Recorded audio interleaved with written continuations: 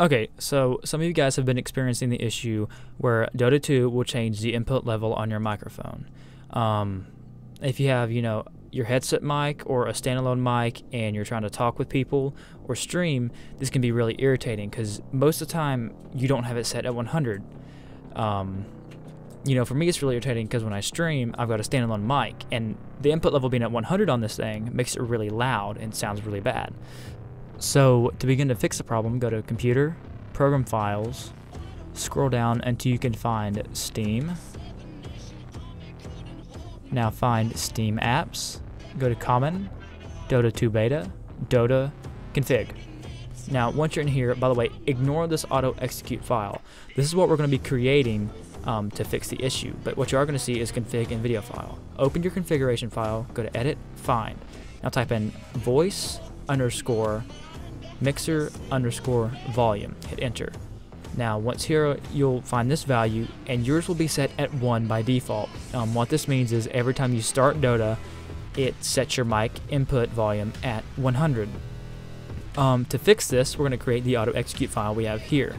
So to do it, open up a new notepad file and type in voice underscore mixer underscore volume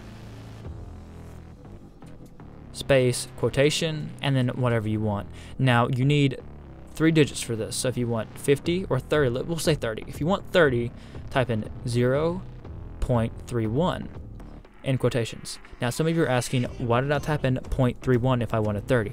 Um, Dota 2 is strange, and it will actually set the input level one lower than what you put in. So if you want 30, you have to put 31. If you want 25, you have to put 26. So just add one to whatever you want. Me personally, I want 51 or 50, so I'm gonna type in 51.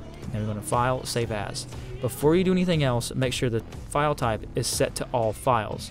Now go back to your Dota file. So go to Computer, Program Files, Steam, Steam Apps, Common, Dota 2 Beta, Dota, Config. Now, once you're here, you're going to want to save it as autoexecute.cfg.